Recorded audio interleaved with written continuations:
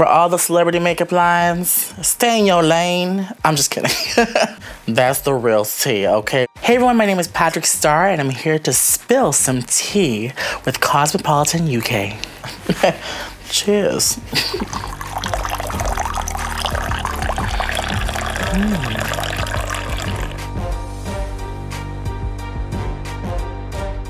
All the beauty drama last year. I'm so glad I wasn't a part of it. Cheerio.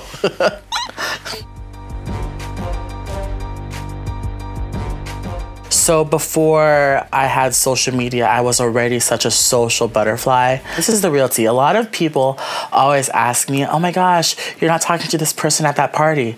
It's because I already talked to that person, okay? The real tea is I wanna go meet other people. And I think that's, that's the thing about networking. You wanna meet people that you already haven't met because I believe in life opening up when you do.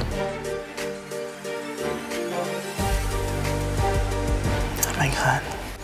I'm not into the cushion products really, or the soft bounce eyeshadows. I love me a good pigmented, dry, soft eyeshadow, yeah.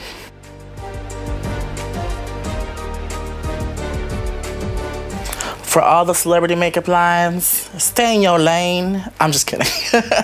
I think it's great, but um, they haven't done makeup or have been makeup lovers. The Kardashians are all about the glam, and I love KKW Beauty and Kylie.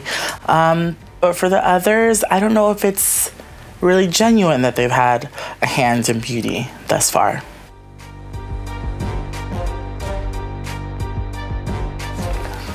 hey Kim, what's up, girl? But when I did do her concealer, I was like, oh my God, that's like, I'm so relaxed, I'm so chill. But when I went to put on some concealer and turn around and come back, I almost passed out because that was the iconic Kim Kardashian uh, pre-West that I knew with the concealer lines and the stripes and the, the contour lines. And that image of her turning around and seeing it in person, shook me to the core.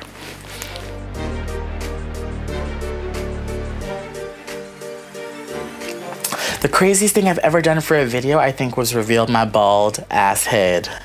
That's the real tea, okay? What was under this turban, that was just something that I felt I had to do for people that haven't chosen to lose their hair because it's, it's it's not a choice it's just something that happens and it was very well received and I got to, to do it with someone so so special like Shalom Blac um, who was a burn survivor and had also lost her hair so I think having that and holding hands with her to do this for my channel was something really huge and really special to me and I love her.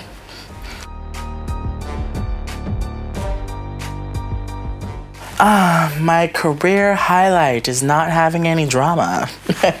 Cheers. no, but the real tea is I think having my largest partnership with MAC, having five collections globally, has been the highlight of my life.